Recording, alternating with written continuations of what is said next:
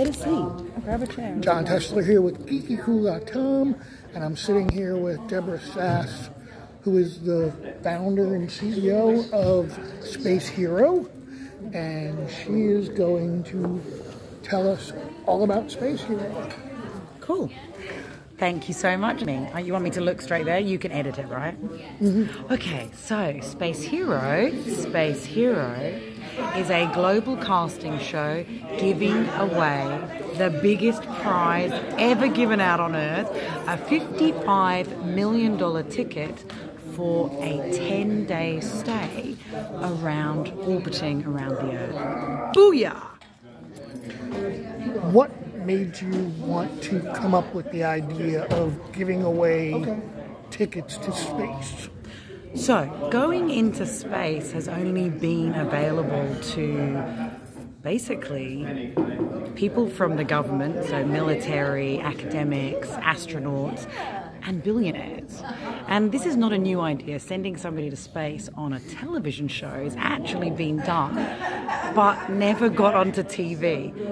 CBS, so Mark Burnett, the founder of Survivor, tried to do Survivor in space. Did it come out? Uh-uh. Richard Branson also did uh, a, a astronaut idol, also never got onto TV. Uh-uh. And more importantly, is everybody's fascinated with space. So, what better way to really bring a globe together by doing something in the entertainment business? So you've had the idea. I know that it's not public yet. It's not public yet. Yes, but we, we don't have to talk about anything. it's not public yet. Um,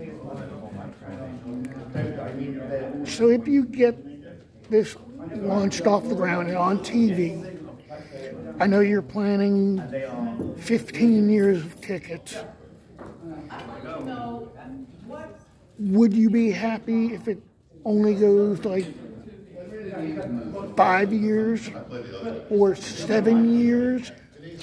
You know, at this point, I'll be happy if it gets off the ground and we do the first and the first year. I don't think really that once you've done this once, the the space sparkles that comes with space, the environment and the excitement, and really it's a zeitgeist moment. What does everybody want to do? What does everybody, every culture, every religion, every country, they all have their own version of space and space travel and the universe. All Space Hero is doing is bringing it together. And as I said earlier when you first met me, we are already partnered with 70 different countries, with over 50 government space agencies in 50 different countries, with over 120 private space companies in over 70 countries. So we've already brought together hundreds of thousands, millions of people together who really love space.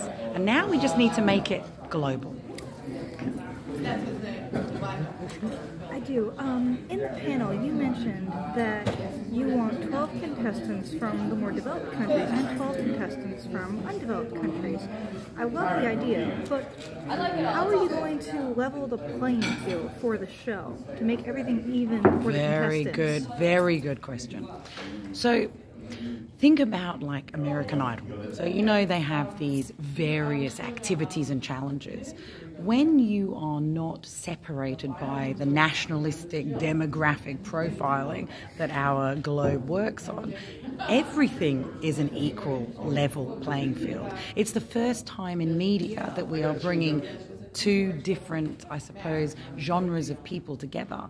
So think about it like this.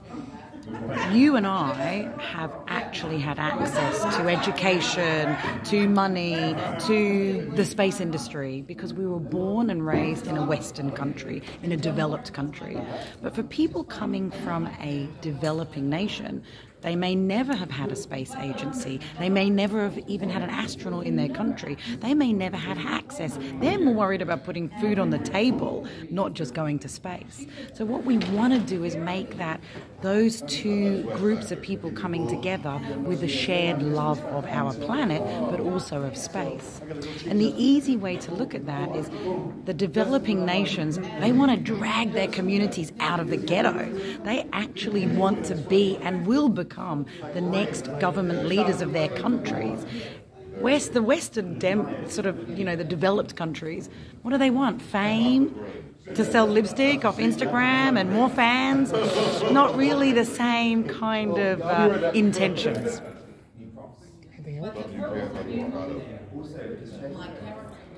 How do you see this TV show furthering the field of science? I'm in the stage right now, A ladies. lot of exploration that we don't know about. Um, that was also mentioned in the panel for Space Heroes.